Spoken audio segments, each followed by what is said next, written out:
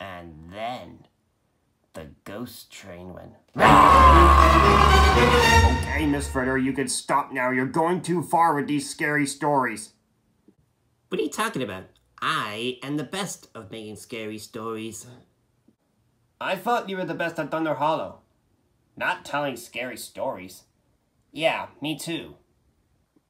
Well, they don't call me rough and tough for nothing, Whipplefilter and Francis Beltline.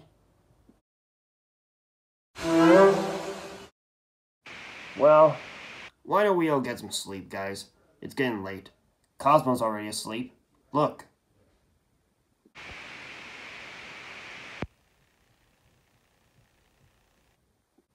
Yeah, you're right, Storm.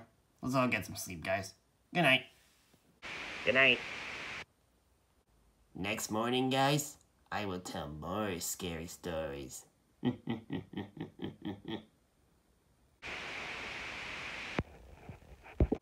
So, those guys are camping and are getting ready to go to sleep.